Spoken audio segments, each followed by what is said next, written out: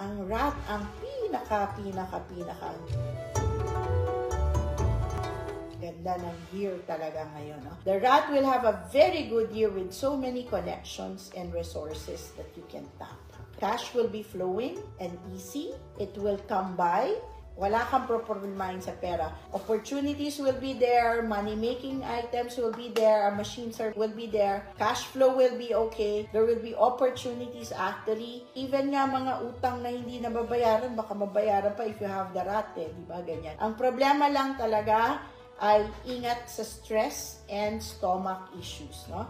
Ang health ninyo ay more on digestive. So, because you have so much money, so ingat sa kain na kain sa restaurant, di ba? Na kasi sobrang good ang life. Stress because when there's so many opportunities, baka grab ng grab ng grab. At the end, tandaan mo ha, baka naman sobrang stress na hindi na rin worth it ang kinikita.